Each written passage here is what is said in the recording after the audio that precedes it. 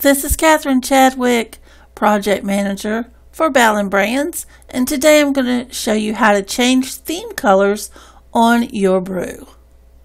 You want to be logged into your WordPress dashboard. Once you're logged in, you'll notice a black toolbar across the top of your brew. You want to click the Customize option located in that toolbar. In the options, you'll notice a colors option. You click it, and here is where you can adjust your theme colors. You can adjust your primary color, your hover color, a secondary color, and then adjust colors according to your widget. So you can sort of play around with these if you want a different color scheme.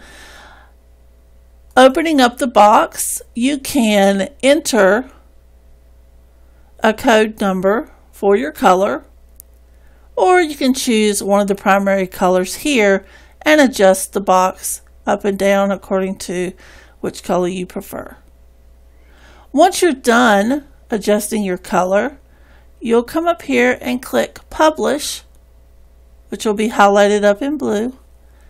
And when it's complete, you'll X out of this box and your colors will be changed. Make sure you like this video and subscribe to our channel for more helpful tips on your brew and IDX broker.